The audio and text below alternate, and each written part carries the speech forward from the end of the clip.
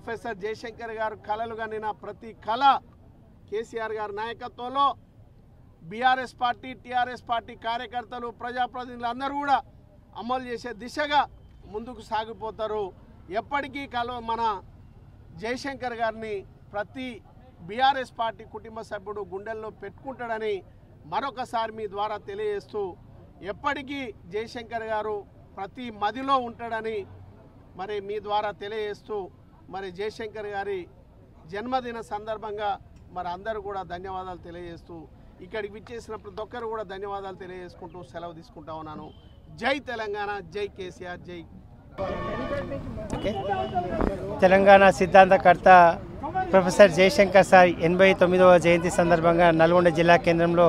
మరి వారి విగ్రహం దగ్గర తెలంగాణ ఉద్యమకారులు మరి జయశంకర్ సార్ అభిమానులు అందరూ కూడా ఈరోజు ఘనంగా వారి జయంతి సందర్భంగా వారిని స్మరించుకుంటూ వారి ఆశయ సాధన కోసం ముందు పోతామని చెప్పేసి మరి కేసీఆర్ గారి నాయకత్వంలో ఏదైతే జయశంకర్ సార్ యొక్క ఆలోచనకు అనుగుణంగా ముందు పోయి మరి బంగారు తెలంగాణ నిర్మాణంలో ముందు పోతున్న సందర్భంగా వారిని స్మరించుకుంటూ వారు ఎక్కడున్నా కూడా వారి ఆశయాలని మరి ముందుకు తీసుకుపోతామని ఈ సందర్భంగా తెలియజేస్తా ఉన్నాం.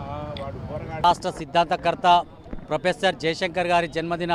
కార్యక్రమాన్ని నల్గొండ పట్టణంలో పెద్ద ఎత్తున నిర్వహించుకోవడం జరిగింది. వారి ఆశయ సాధన కోసం ప్రతి కార్యకర్త కూడా ప్రతి ఒక్కరు కూడా తెలంగాణ పైన అభిమానం ఉన్నవాళ్ళు తెలంగాణ పట్ల ప్రేమ ఉన్నవాళ్ళు ప్రతి ఒక్కరు కూడా కృషి చేయాల్సిన అవసరం ఎంత ఉంది. దానికి అనుగుణంగానే తెలంగాణ రాష్ట్ర ముఖ్యమంత్రి కల్వకుంట్ల చంద్రశేఖరరావు గారు ఏదైతే ప్రొఫెసర్ జయశంకర్ గారి ఆశయ సాధన కోసం కృషి చేస్తున్నారో అల్లా ప్రప్రథమంగా రైతాంగానికి ఇరవై నాలుగు గంటల కరెంటు కావచ్చు రైతాంగానికి పెట్టుబడి సాయం కావచ్చు రైతు బీమా కావచ్చు అదేవిధంగా అనేక సంక్షేమ కార్యక్రమాలు కూడా ఈ యొక్క నదుల అనుసంధానం కావచ్చు కాళేశ్వరం ప్రాజెక్టు కావచ్చు ఏదైతే ఈ యొక్క తీసుకొని వెళ్తున్నాడో ప్రజలకు తీసుకెళ్తున్నాడో వారి ఆశయ సాధన కోసం బ్రహ్మాండంగా కృషి చేస్తున్నటువంటి చంద్రశేఖరరావు గారికి ప్రత్యేక ధన్యవాదాలు. అదేవిధంగా ప్రతి ఒక్కరం కూడా ప్రొఫెసర్ జయశంకర్ గారు చూపిన మార్గంలో నడుస్తూ వారి ఆశయ సాధన కోసం కృషి చేయాల్సినటువంటి బాధ్యత ఎంతనో అని చెప్పేసి ప్రతి ఒక్కరు కూడా సామాజిక బాధ్యతగా జయశంకర్ గారి జన్మదిన సందర్భంగా అందరం కూడా విరివిగా మొక్కలు నాటి పర్యావరణాన్ని పరిరక్షించే బాధ్యత మనందరిపైన ఉందని చెప్పేసి ఈ సందర్భంగా తెలియజేస్తా ఉన్నాం. తెలంగాణ రాష్ట్ర ప్రజలు ఉద్యోగులు ఎంత నష్టపోతున్నారో అదేవిధంగా వాళ్ళ బాధలు గాథలు అన్నీ తన బాధలుగా ఎంచుకొని మరి ఉన్నత స్థాయిలో కూడా ఉండి జయశంకర్ సార్ తెలంగాణ ప్రజలకు